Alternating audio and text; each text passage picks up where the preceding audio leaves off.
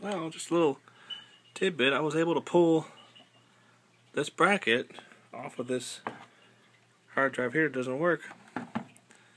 Fit on there perfect. Now, it's pulled the hard drive up off these chips down here and off this uh, joystick connector on the front. Cool. We got the back part on. Another look at the plate there.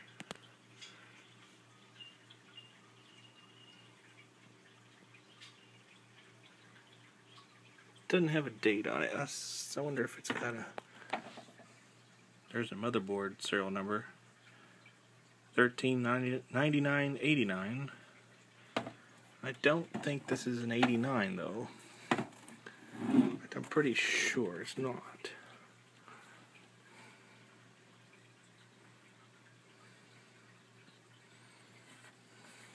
Well,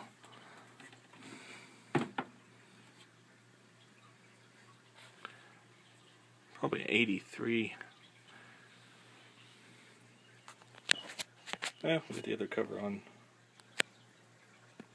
There we go, all back together.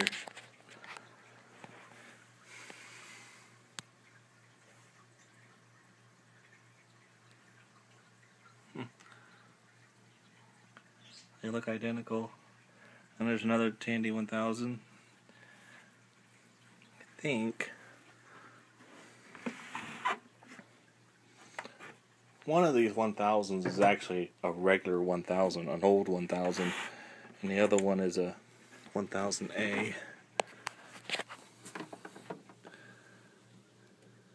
Okay.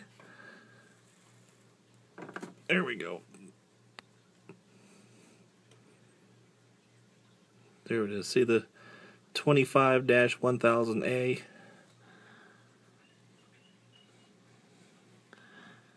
Same thing up here. Where is it? There it is. 25 1000A. And that just says 25 1000.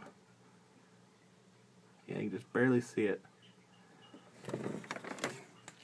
So that means this one's the oldest out of all of these.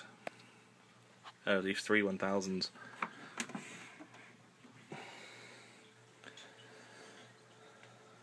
So that's the oldest. I believe that one's the fastest. It also has the most has the fastest memory chips in it too. They're all uh, 120 nanoseconds.